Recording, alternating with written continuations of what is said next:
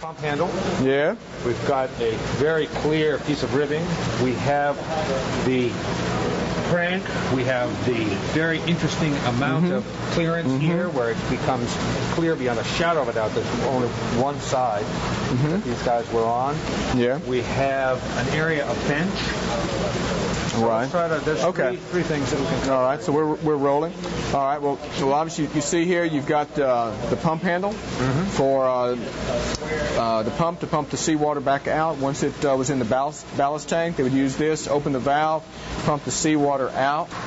Um, this mechanism here is all the plumbing and the, the piping to let the seawater either in or out for the ballast tanks. Uh, obviously, this is your hand crank. We now know there are seven positions uh, instead of eight on the hand crank. Since the hand crank is off center, is on the starboard side, and the bench on the port side, they obviously had to transfer the energy from the hand crank uh, to the propeller shaft. And here you can see the gears from uh, the gear on the uh, hand crank, and then the gear for the propeller shaft there uh, which would be their mechanism for transferring that uh, that energy.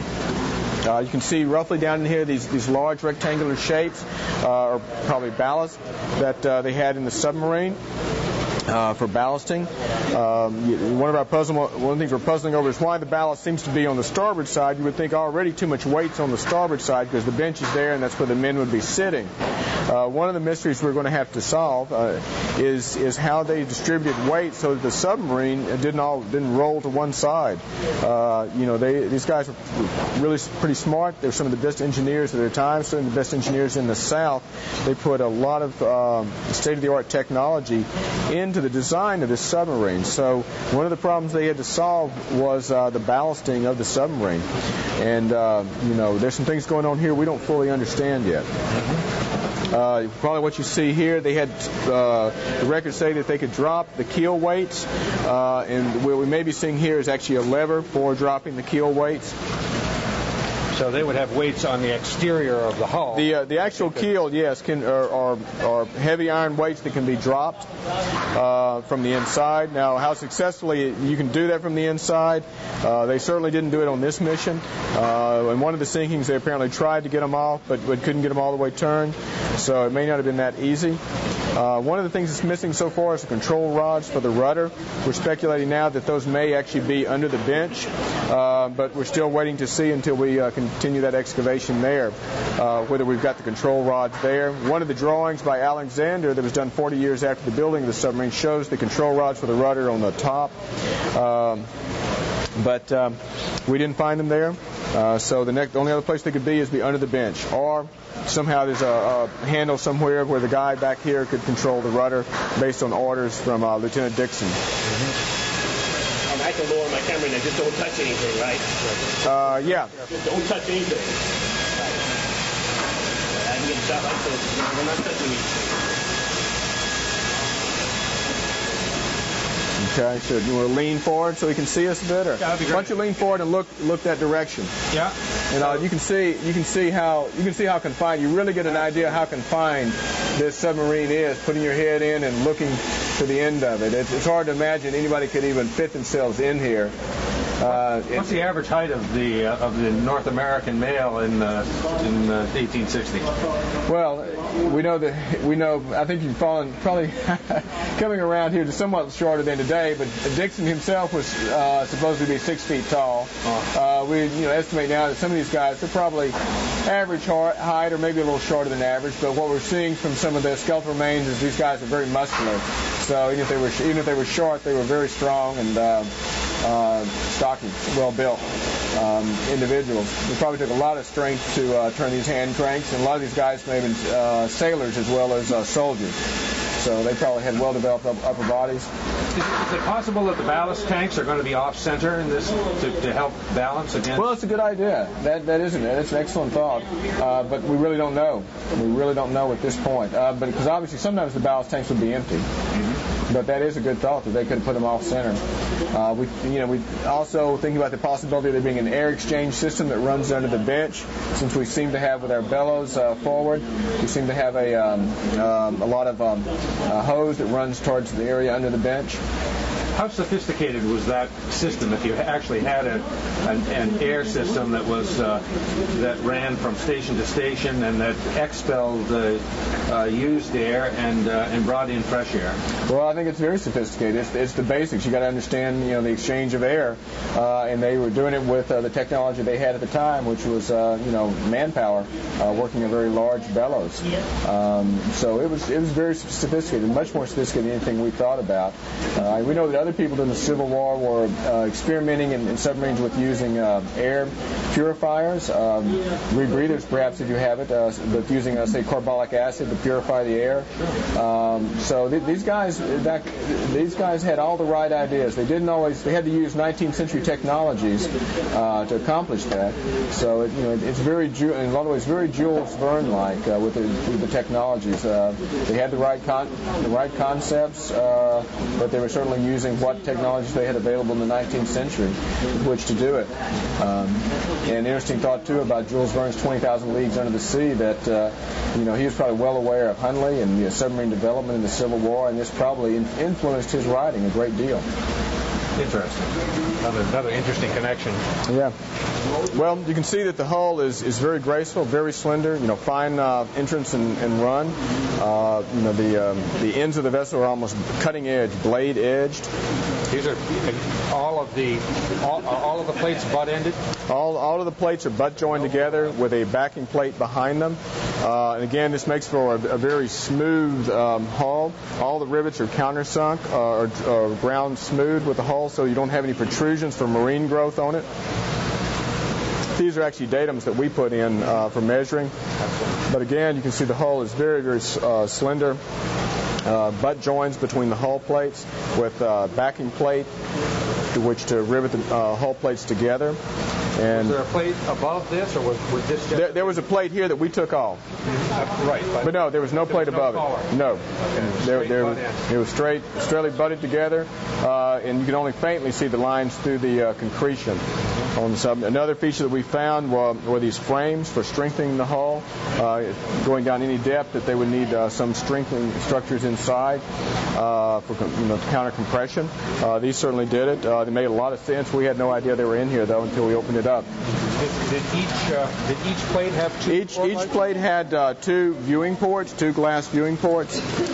Um, that's fiber optic. That's, uh, it's fiber optic light. Yeah, it, was turned off up there. If I could turn it on, I'd shine it. Yeah. Um, but uh, yes, there were five pair of what we call deadlights, and these allowed light into the submarine. We also believe that they could uh, they had a cover on the inside that they could close these lights off, so they wouldn't be uh, as visible to an enemy ship. Um, and uh, we have some indication some of those were, were closed. Uh, there are also these uh, these dead lights or viewing ports were in the uh, conning towers too. Can we go forward and take a look at the conning tower and at the at the shear of the bow? Sure, it'd be great. Okay, here we go. We've got. Uh, you can see how fine the end is here. It's how, how narrow and sleek, and um, you see the cutwater in front of the conning tower here. We have also a cutwater that was in front of the uh, after conning tower. Can, can we get a shot of the, of the conning tower and the air exchange box? And one of the things too you might notice on the dive planes, uh, if you look up here, there's uh, there's fins in front of the dive planes that would uh, prevented uh, lines from fouling in the dive plane.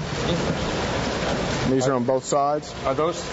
Were there any uh, movable hydroplanes on the on the bow or on the stern? Or only on the stern roof. Well, only these dive planes. There only these dive planes can be moved.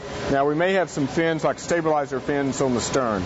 We have something there on the stern that could be a stabilizer fin. So these these concreted uh, planes were they they they were actually on a pivot? And, and Yeah, there's a- so there's these a- were the dive. These are the dive planes. They're six foot. Each one is six foot long. There's an axle connecting the two dive planes. Uh, there, where uh, we've got a gentleman working under uh, taking off that plate. There is a handle for the dive planes, so that uh, one individual can uh, can raise or lower the dive planes.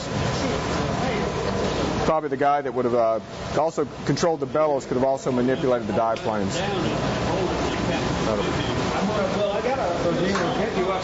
So Gene, uh, there's the fin. I was talking about. There's a dive plane there. You see the axle on the dive plane? Yeah, this, this thing, this big thing here is a dive plane. It's about six feet long. In front of it is a fin that uh, that's fixed that would prevent uh, that would prevent lines from fouling in the dive plane from hanging in it. So it basically just make it the if a line drug across it, it would kick the line off the um, off the dive plane. What do you expect the from the inside? Can you see what the what the interior uh, dimension of the oval-shaped uh, hatchway is? Uh, well, we have X-rayed that area, but we're not that far forward in our excavation. Okay. It's it's very small though. Remarkably small. Not only take someone uh, somewhat slender, but someone that's probably uh, very flexible. You and all. Hey, Kellen, is, is Warren?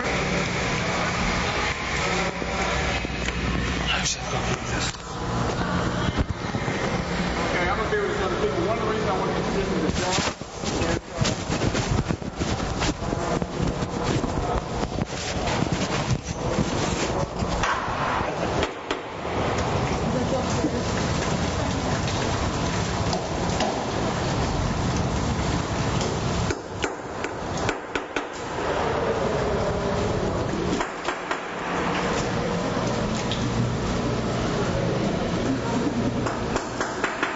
So the pump handle, do you think that that was a handle that went uh, horizontally back and forth when they utilized it? Because obviously, right now, if you were trying to run the crank, if you were actually trying to turn the propeller, that would that handle would be in your way.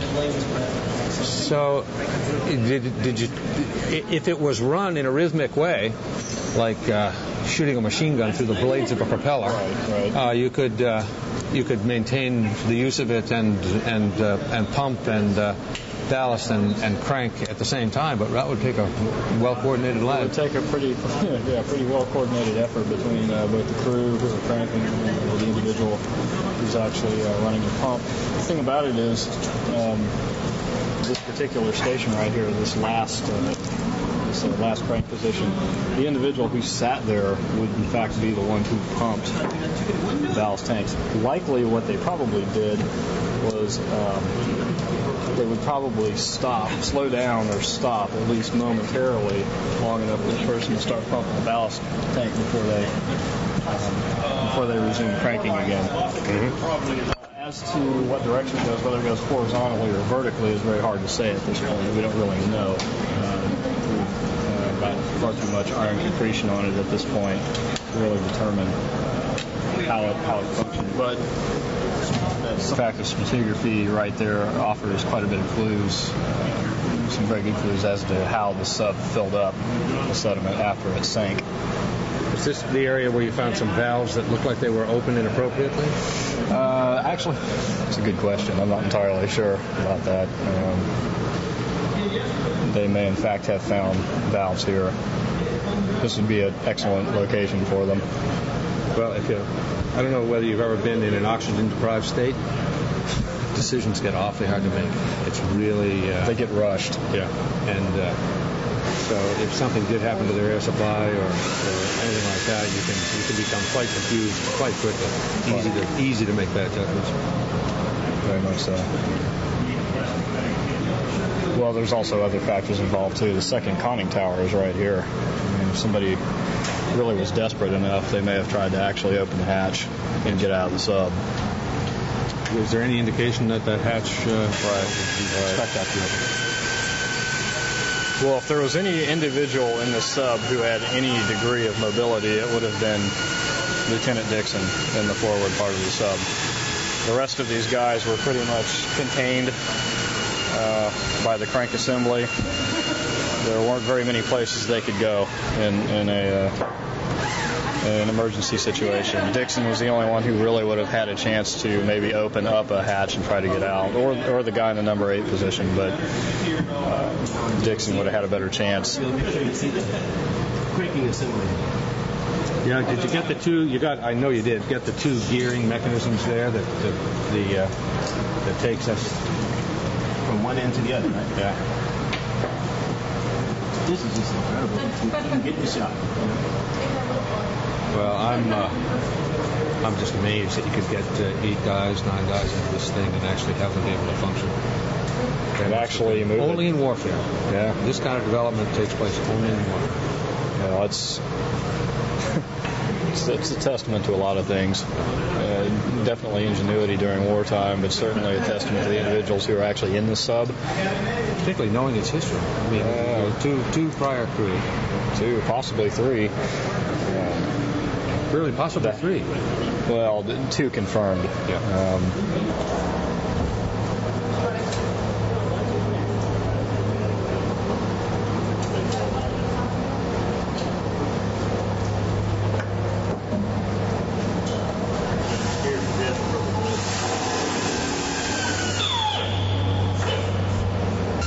the essence of that. Quint- quintessential, It's absolutely. the quintessential time capsule. Uh, it, it truly is. I mean, it is sealed up. yes, the things we call scattering at the time, and scatter artifacts and move them from where they originally came to us. This is not the case in here. Everything is exactly as it is. It's incredible to me. We we've been doing shipwreck shows for years, years, and years, and years. So we uh, have a really good sense of them. And one of the things, the other thing that's so impressive about this wreck is that it's actually being preserved.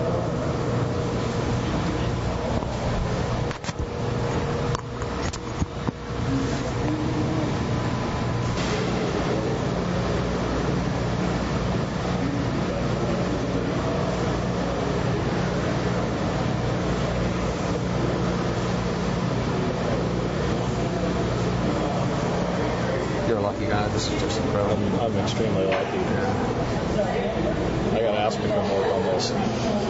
We, I just came from the Great Lakes. We were we just were surveying uh, for the Lodner Phillips sub, the 1848 sub that was lost in Lake Erie, and uh, we didn't find it. We think it's completely in, in sediments. Yeah, that's probably And unfortunately, it's sitting right next to the, the Atlantic, the ship I described to you, which has a massive magnetic signature. So we, it's lost, so we have to come go back with some really low frequency sonar and start to just do a, just look for it that way. do some sub bottom stuff too. I might tell you something. Well, that's that's well, that's it. Oh, it's a good shot of the prop on this side, which is nice. Because to get that hydroplane is really nice.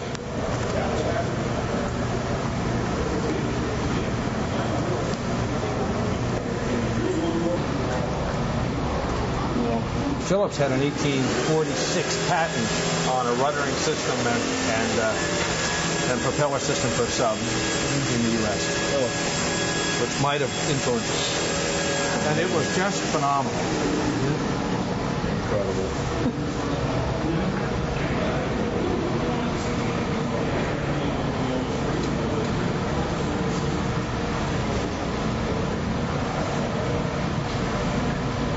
Very strange to see this sub in that Chapman painting.